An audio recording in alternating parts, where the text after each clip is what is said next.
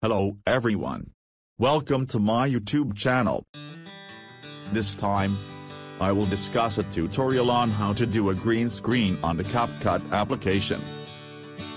But before continuing, please subscribe to this channel first, and also click the bell button, so you can get notifications when there is a new video.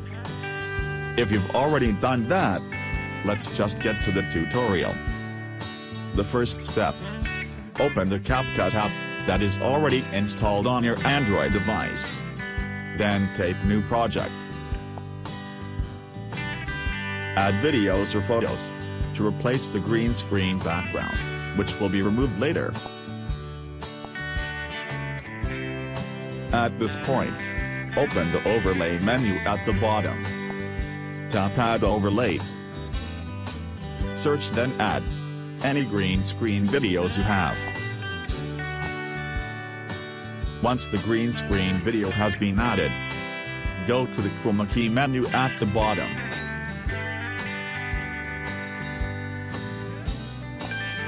In this color picker menu, slide the selection point towards the green color or the video background color that will be removed. Tap the intensity menu. Then set the reset until the green color or background color is not visible. You don't have to set it to 100%, because it will affect other video objects.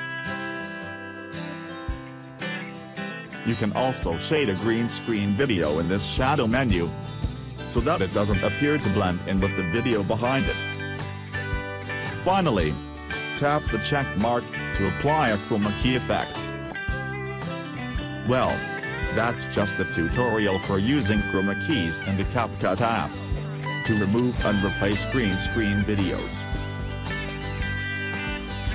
The rest.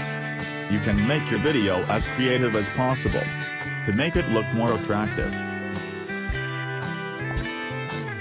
Okay guys. After watching this video, you already know how to use the green screen in the CapCut app. I hope this video is useful for you. That's all from me. Thanks for watching. And see you again, in another interesting video to come.